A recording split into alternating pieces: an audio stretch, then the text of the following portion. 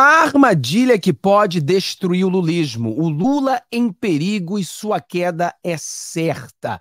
No vídeo de hoje vamos explicar para você por que que diferente de muitos youtubers e de muitas pessoas, eu vejo a fraqueza do Lula. Eu vejo um Lula doente, eu vejo um Lula fraco, eu vejo o governo Lula, o regime Lula morto que esqueceram de enterrar e vou explicar para você detalhadamente por que eu vejo esse governo completamente morto e esqueceram de enterrar. Você vai entender. Vá no comentário antes de qualquer coisa e coloca ali. Se você acredita que o governo Lula está forte, coloca um. Se você, na sua opinião, o governo Lula está muito fraco, boto o dois. O que eu vejo é um governo super fraco fazendo, criando uma narrativa para mostrar que ele ainda está forte. Quer dizer, ele quer morrer gritando. Então nós precisamos abrir a mente, abrir os nossos olhos, colocar os óculos de os óculos de Josué e Caleb para ver o que realmente está acontecendo no nosso Brasil. E no vídeo de hoje você vai entender muita coisa. Antes de qualquer coisa, nós estamos aí tentando bater o recorde. Nosso recorde são 39 mil compartilhações. Vocês compartilharam todos os vídeos da semana 39 mil vezes. Quer dizer, você jogou lá no WhatsApp do tio, da tia, jogou no WhatsApp no, no, no, no da avó, do grupo disso, grupo daquilo. Joga lá em todos os grupos de WhatsApp, grupos de Telegram. Você que está no Facebook, chegando aí os 300 mil inscritos, bota naqueles grupos gigantes de, de Facebook. Vamos bater o nosso recorde aí, contando com você. Meu nome é Fábio. Se você não está inscrito no canal ainda, inscreva-se no canal, dê essa força pra gente. Falamos aqui sobre a política brasileira, falamos sobre geopolítica, falamos sobre o mundo. Aqui nos Estados Unidos, são uma matéria agora que vou comentar com você, que também faz o Lula tremer, é que tudo agora indica que sim, é uma possibilidade real do presidente Donald Trump ganhar em 2024. E tá todo mundo com medo, tá todo mundo com medo disso. Vamos falar sobre isso, que o Lula tá cagando de medo. Tem o, o Poio Carvajal aqui, que o Lula já tá cagando de medo, e o Lula tá aí, desesperado, porque é pedrada atrás de pedrada, né? Se você quiser ajudar com o nosso Pix, tá aí, ó, Vida Gringa Pix, gmail.com. Então vamos direto ao assunto para você entender. Por que, que a gente está vendo, na minha opinião, e você pode discordar, você tem todo jeito de discordar, é que o Lula ele cria uma narrativa de estar forte, mas na verdade ele está fraco. E aí tem várias pessoas que entram aqui no canal e ficam, cadê a oposição? O Fábio fica falando de oposição, o Fábio é inocente. Olha aí, tá todo mundo sendo preso. Olha isso. Quer dizer, existem sim algumas pessoas sendo presas existem sim algumas é, é, é, injustiças acontecendo, nós sabemos disso. Mas isso faz o Lula forte? Eu vou fazer uma pergunta para você. Se o Lula ele tá forte, se o Lula tá forte como você pensa, você que tá aqui no comentário falando baboseira, então você me explique isso aqui. Eu quero que vocês me, me expliquem isso aqui, se o Lula está forte. Eu quero uma explicação, né? Já que você acha que o Lula está forte, me explique isso aqui. Nas redes sociais e no meu estado. Aliás, eu não me elejo nem para síndica do meu prédio, porque no meu prédio são 20 andares, são 20 apartamentos. Dos 20, só três eu acho que ainda conversam comigo. Não tem problema. Fala assim, hoje no meu estado eu não sou mais chamada nem para jantar, nem para batizado, nem para casamento, para nada. Não tem problema. Eu já estou cancelada. Como é que é? Ela já está cancelada. A ministra do Lula de acordo com algumas pessoas, o Lula está forte. Mas esse Lula fortão, o, o presidente popular que não tem popularidade, ele está aí, fortão, mas a sua ministra, ela confessa. Vou repetir. Conta de novo para você não dizer que você não viu direito. Você não consegue se eleger para quê? Peraí. É bom quando ela fala, né? Como é que é? Ah.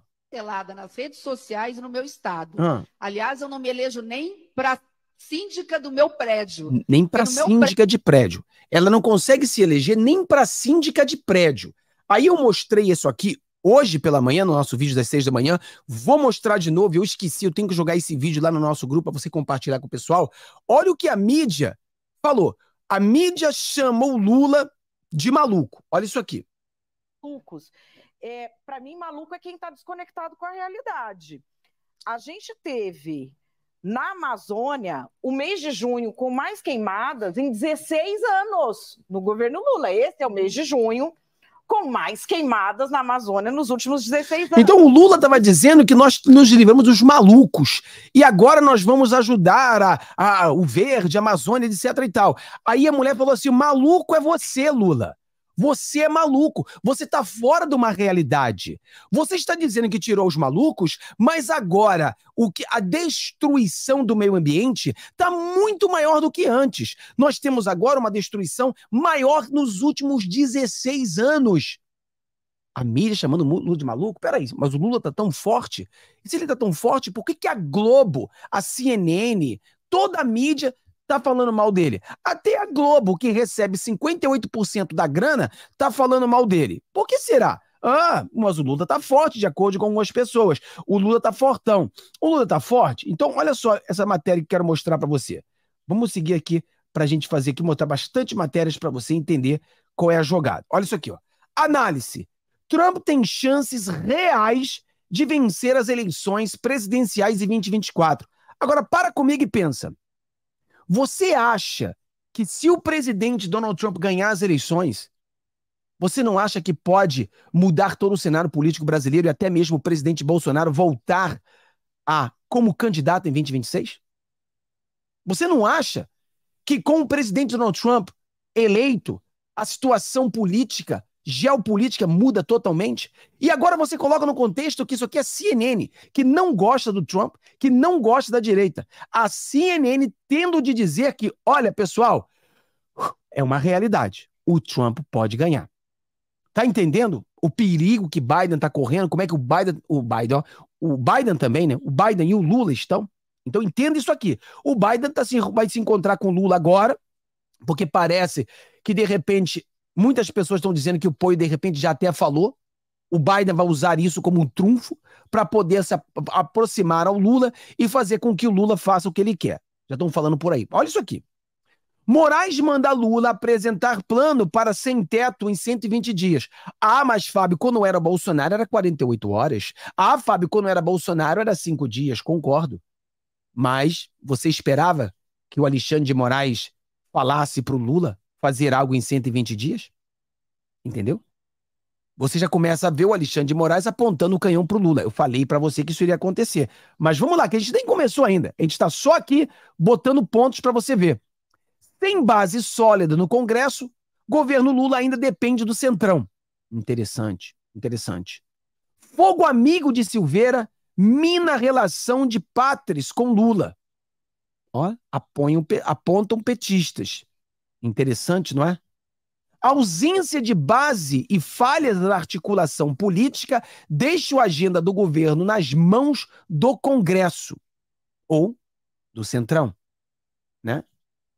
Aliados sugerem a Lula reforma ministerial mais ampla para acomodar o Centrão. Então o que acontece? Aqui a gente para e a gente vai bater um papo sobre isso. Vamos lá. O que acontece? O que as pessoas estão usando em base para dizer que o PT está forte é dizer que o PT tem um centrão. É dizer que eles fizeram uma, uma reforma tributária e passou. Então o Lula ganhou. As pessoas não conseguem diferenciar. Cara, se você não consegue entender que o Brasil é, são três pilares, você não entende da política brasileira.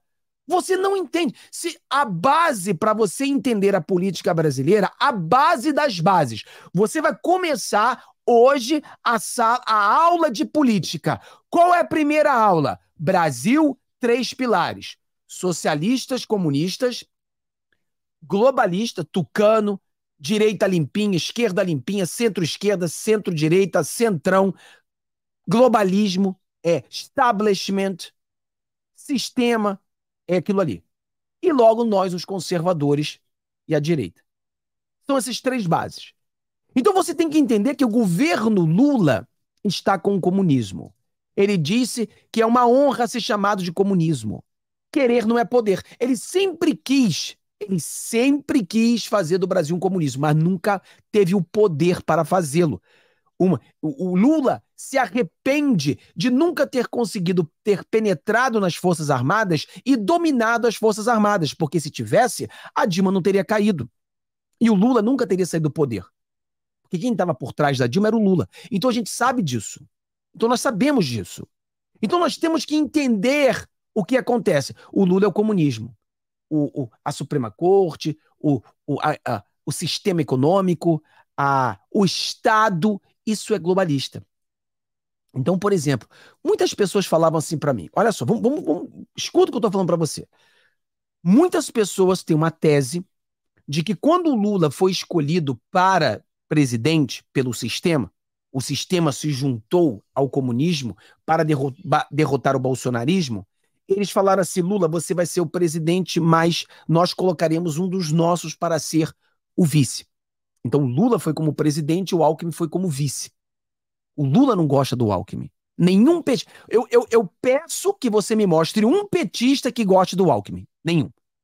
O PT não gosta do Alckmin, a esquerda não gosta do Alckmin, é, o petista não, não gosta do Alckmin, o Lula não gosta do Alckmin, a Janja não gosta do Alckmin. Então, quem é que desgraça escolheu o Alckmin para ser um vice-presidente se ninguém gosta dele, ninguém quis ele, ninguém escolheu ele? O sistema. Lula, você vai ser presidente, mas o Alckmin vai junto. Entendeu a jogada? Entendeu? Então, muitas pessoas têm uma tese de que o Lula nem vai ficar até 2026. O Alckmin vai tomar posse. E o Centrão vai ganhar. Muitas pessoas acreditam que o Lula vai acabar entendeu? É, tendo algum tipo de doença e terá que sair. Outras pessoas acreditam que ele vai ser impeachmentado e etc. Então, muitas pessoas acreditam que o Alckmin entrará no lugar do Lula. Aí eu pergunto para você, para e pensa. Quem é o Alckmin? O Alckmin é do sistema. O Alckmin é do establishment. O Alckmin é como o Temer. Tá bom. Quem é o Alckmin e o Temer? Ah, eles são do Centrão. Então você na sua análise, o Lula está mais forte porque ele se aproxima o centrão. Não é uma armadilha que o Lula está caindo? A aproximação do Lula ao centrão, criando ministérios para o centrão, fazendo com que o centrão tenha mais controle do domínio no governo. Ele não está entrando no jogo do centrão, exatamente como você falava que o Alckmin vai acabar de repente sendo um presidente, mas o Alckmin é do Centrão. Então, o Lula se aproximando ao Centrão, se vendendo ao Centrão, o Lula não estaria dando muito mais força ao Alckmin do que a si? E você tem que entender. O que o Lula cria? Ah, mas passou a, a, a, o negócio do, do, do, do, imposto. Ah, mas passou o negócio da, da. O que passou, se você observar, não era uma proposta de governo, era uma proposta de Estado. A reforma tributária é Estado, passou por causa do Estado, não foi por causa do governo. O Lira não é Lula. Agora o pessoal fala, não, mas o, Lula, o Lira é apoiador do Lula porque o Lira falou bem do Lula. Poxa, semana passada o Lula, Lira falou bem do Lula, semana retrasada ele falou bem do Bolsonaro. O Lira era bolsonarista? Nunca foi. O Lira é lulista? Nunca foi. O Lira é do sistema. E o sistema, ele está criando essa armadilha para o Lula. Ele quer entrar nessa jogada. Então entenda, se você acredita na tese de que o Alckmin vai acabar virando presidente, então você tem que acreditar na tese de que se o Centrão aumenta no governo, quer dizer que o Alckmin se torna mais poderoso e não o Lula. Não o Lula. O Lula começa a se perder. O Lula começa a vender a sua alma para o Centrão. Isso se ele tivesse alma. Não acredito que o Lula tenha alma. Mas se tivesse esse regime Lula, ele estaria se vendendo ao Centrão. E o Centrão vai começar com suas garras a colocar as suas garras em todos os lados. E daqui a pouquinho você vai ter o Lula completamente dominado pelo Centrão. Lembrando a você que o próprio presidente Bolsonaro demorou dois anos para que o Bolsonaro se aproximasse ao Centrão. O Lula fez isso em cinco meses. Cinco meses não aguentou. Nós tivemos números agora assustadores. Números que mostram que Lula está tirando dinheiro da, da educação. Mostram um rombo de 40 bilhões. Ou seja, é um desespero total do governo Lula. Mas o que, que o Lula tem agora, quando ele está super forte, a mim, super fraco, é mostrar que é forte. E muita gente da direita caindo. Muita gente da direita acreditando que Lula tá super forte, que Lula é invencível, que Lula. É Cara, se Lula fosse super forte, você teria. Você teria o ministro do Lula dizendo que eu não ganho nem para síndico de prédio. Você não acha que o Lula, se fosse forte, ele não teria o mínimo de condições de uma ministra dele ganhar como síndica de um prédio de 20 andares? Cadê a força desse presidente? Pelo amor de Deus. E aí você. Eu estava vendo a matéria aqui, nem sei se ela está aqui, se tiver vai ser interessante. Deixa eu ver se eu encontro ela aqui. Eu acho que eu nem botei ela aqui, eu esqueci essa matéria. Mas deixa eu ver se eu encontro aqui para botar para você, porque é uma matéria interessante. Quando é interessante, a gente tem que colocar. Peraí. Ah, tá aqui, ó. Tá aqui. Deixa eu mostrar essa matéria aqui para você. Ela é interessante. Ela é interessante. Porque quando você vê jornal de esquerda fazendo isso, você vê que o negócio realmente é interessante. Olha só isso aqui. Olha só isso aqui. Só, isso aqui é do, do Poder 360. Olha isso aqui. Olha isso aqui. Olha isso. Janja cresce, mas Michele Bolsonaro lidera nas redes sociais.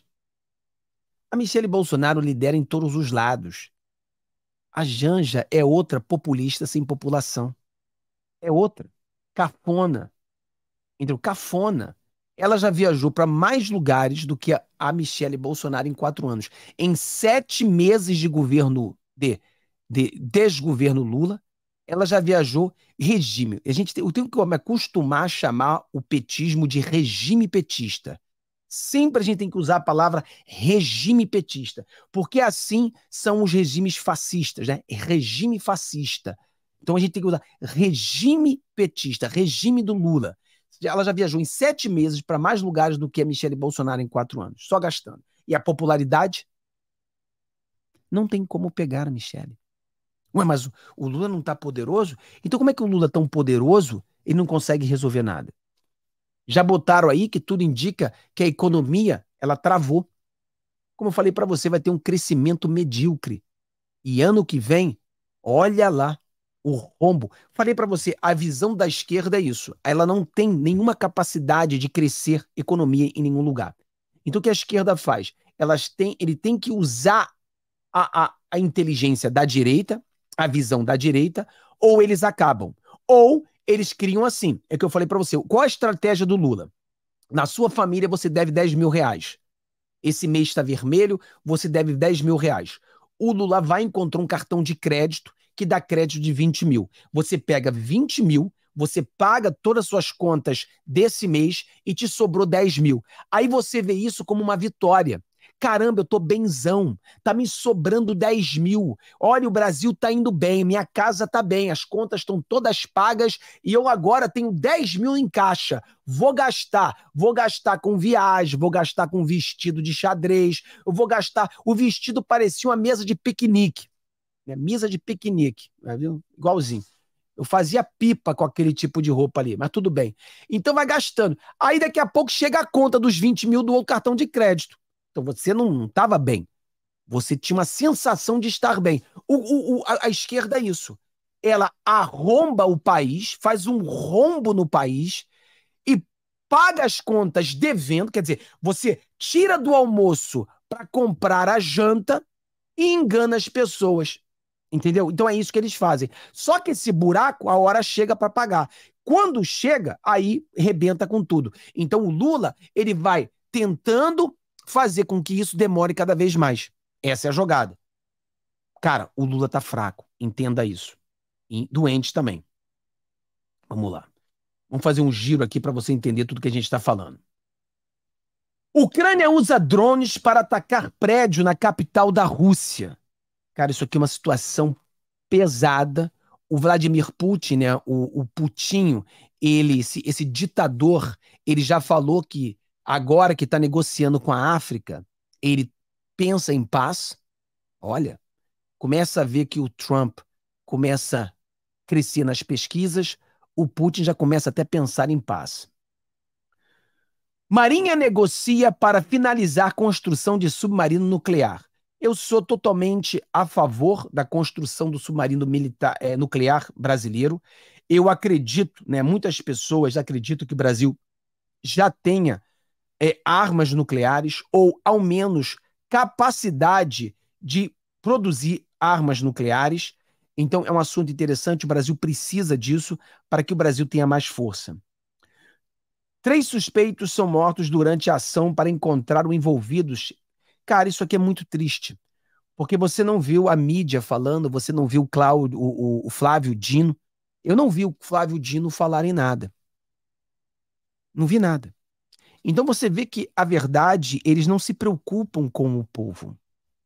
Tudo que o PT faz, tudo que esse partido comunista, esse regime comunista faz, é narrativas.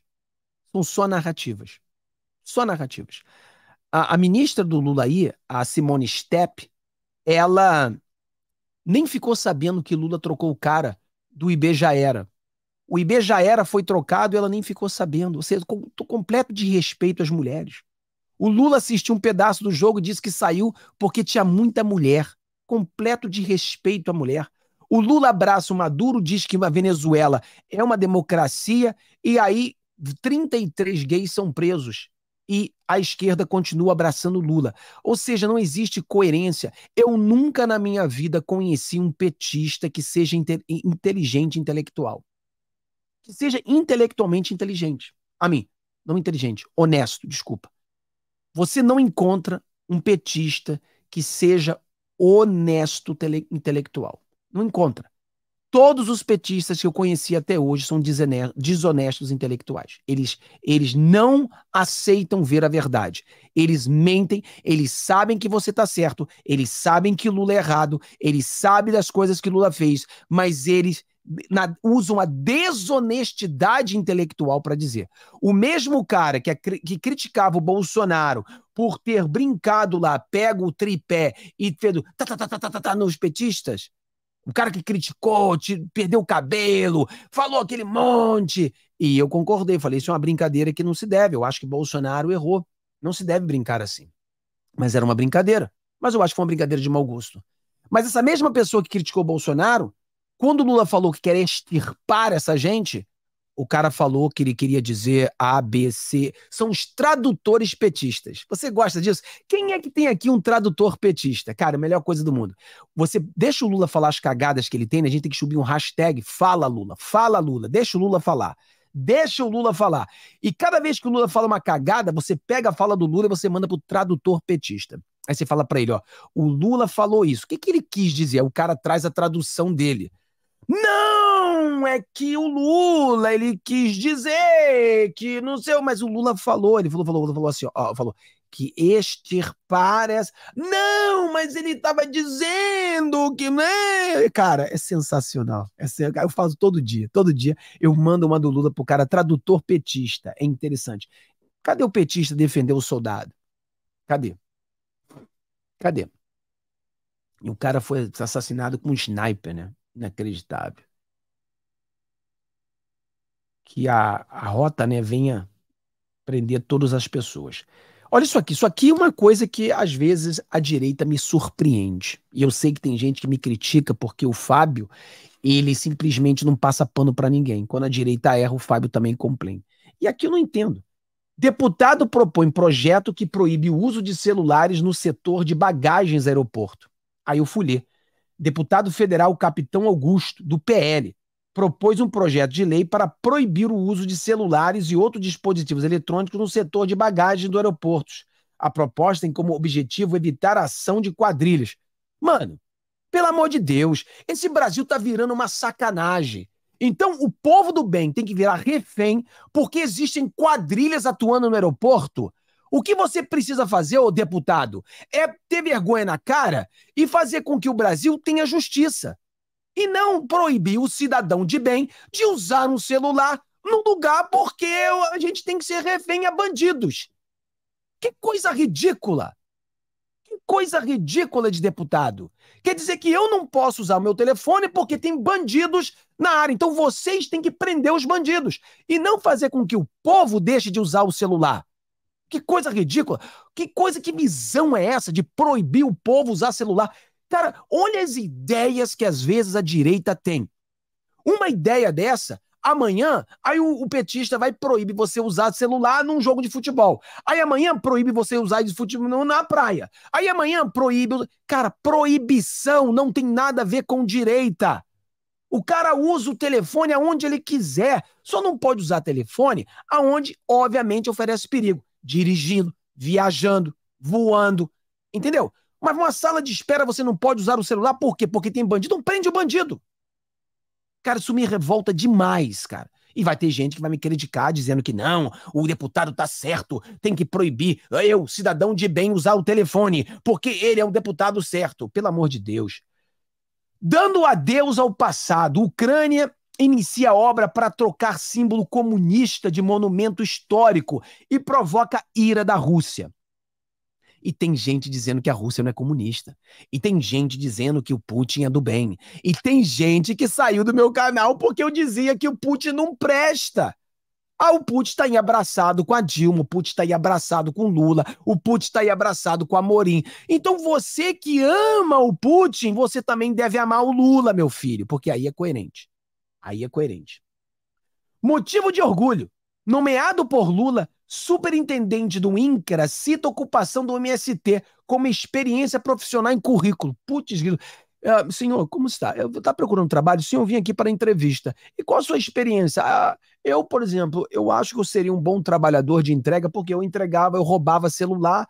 A minha experiência em roubar o celular, eu roubava na esquina e entregava na outra. E isso uh, me deu uma experiência de trabalho. Só falta isso. O cara for fazer um, um for numa entrevista no trabalho dizer que a experiência dele é roubar o celular, é roubar pipa, é roubar gasolina, sei lá. A experiência do cara é essa. Quer dizer, olha a vergonha que é CPT. Olha a vergonha.